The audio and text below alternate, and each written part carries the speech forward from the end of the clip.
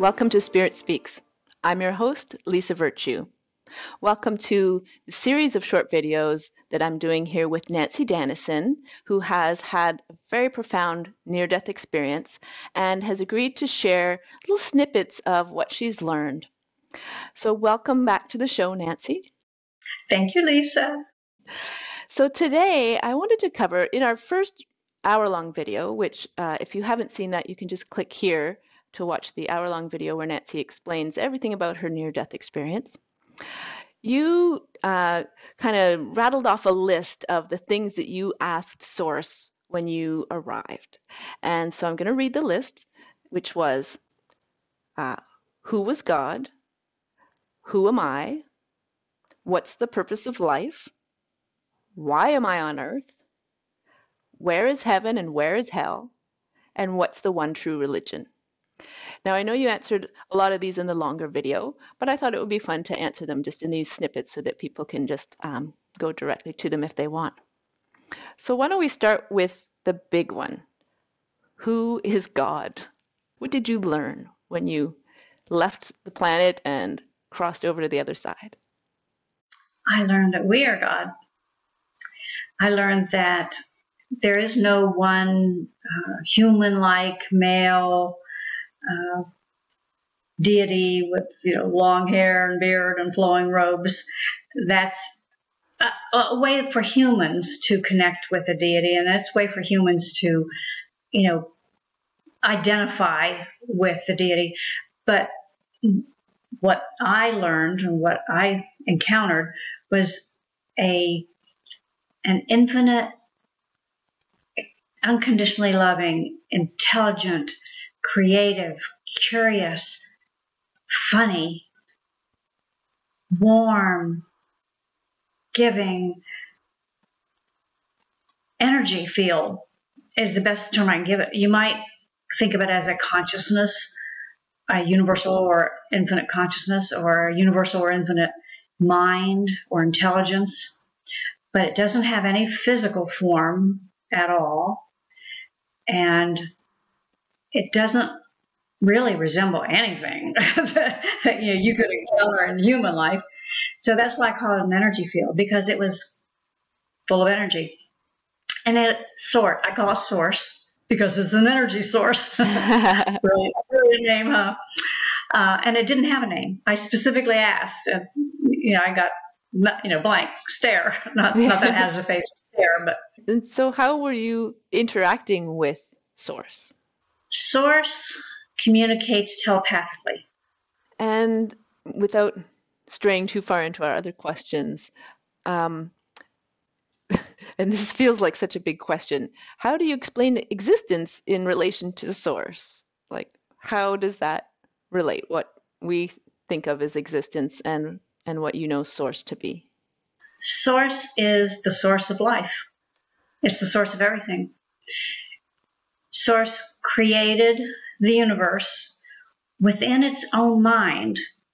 The universe is manifested, and manifested is a term that I learned in the afterlife, afterlife that means something that Source has imagined and intended to exist, and that humans perceive to be physical matter reality. And so the entire universe is, for lack of a better term, kind of like a dream or a vision in Source's mind. So everything in the universe, including all the creatures and all the things and the environment and the planets and the stars and the, you know everything else, exists in Source's imagination. And through imagining something, Source gives it life. Mm. And that life can be further enhanced when Source puts its own self awareness and self consciousness into something. And it works a little bit like how when we dream, you know, we create an environment like the universe, and we have characters in there, like the creatures and the things the source imagined in the universe. And we're always a character in the dream. You know, we're always inside a character, usually the same character we play during the day, but we're always watching the dream from inside a dream character that's us.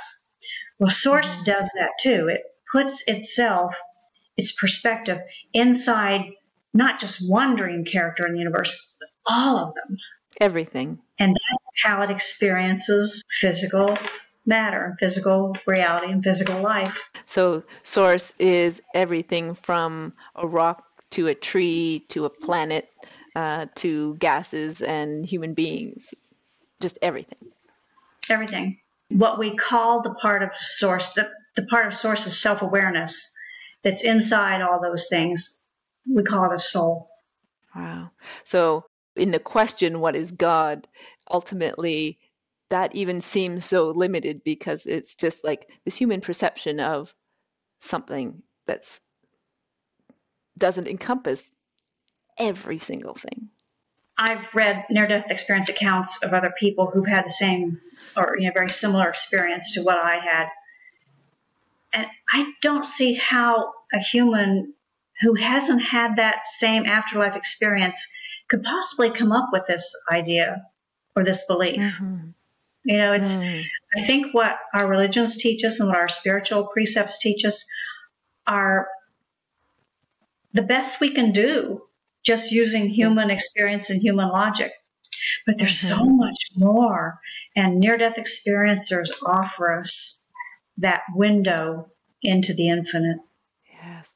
People have so resonated with what you're sharing. I mean, we've got lots of people viewing the videos and your books. And I was going to ask you what it is that you think that draws people to your story. One of the things I learned in the afterlife, out of the 50 million things that I learned, was that some things are true whether you believe them or not. And those things that are true, whether we currently believe them or not, I call universal truths. Mm-hmm. And when we hear them, we often recognize them. That's why we resonate.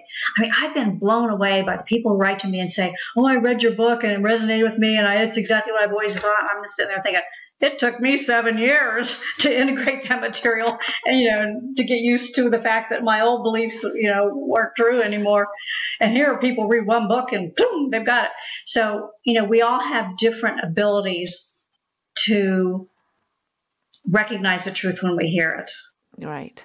But I think that's that's what they're calling resonating. They just they remember it. Yeah. When we get back in the afterlife, we know it all again. You know, we remember it all again. Yeah, it's just it's feeling so familiar that they can't mm-hmm. deny it in a way. Yeah, and what I'm loving about what's happening on the planet now is people are really seeming to open up more and more to all of these, I'll just call them the spiritual ideas that uh, are in line with what the near-death experiencers are sharing, and it feels to me like like an evolution taking place for us, um, and all of this wave of of people being open to spiritual ideas that are beyond the dogma of a particular religion um, shows that we're starting to, in a way, remember home and remember what that was like, and think, yeah, that's that does feel true, something beyond. Lisa, the work you're doing contributes greatly to that effort. You are a oh, okay. what some people call a light worker. You are a wonderful part of Source that's trying to enlighten other people. Thank you. Well, that's you know why I'm doing the videos is to get this out there. And I know, I mean, I'm have been curious about near death experience stories because of how they resonate.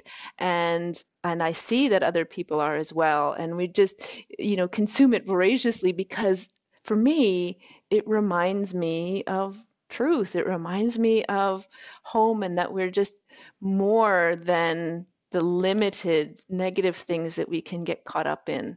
And it just reminds me that you know there is a bigger story to it all. And it's it's very uplifting. So I wanted to share that with everyone. And that's why I wanted to do the series with you as well, because the more it's out there, the more people can start feeling empowered uh, in their current life form, dream state of being source in a human body. I want to recommend to your viewers a website where there are about 4,000 near death experience accounts. It's the Near Death Experience Research Foundation website, and it's nderf.org. And it's a wonderful resource. You can read, you know, you can search near death experiences by topic, you can by name, you can read as many or as few as you want, and it doesn't take as long as watching videos on YouTube. That's right. I have been on that site for years. I voraciously go through. They have a, a category for exceptional experiences, and so I'm always like, "Who's new on there?" Uh, they blow me away. Yeah, that is a fantastic resource. Thank you for mentioning that.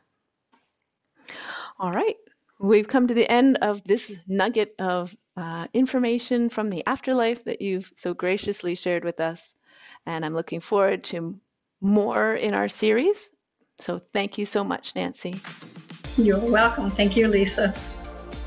And thank you for watching, everyone. Be sure to hit subscribe and click on the little bell so that you can be informed when the next video comes out. See you next time.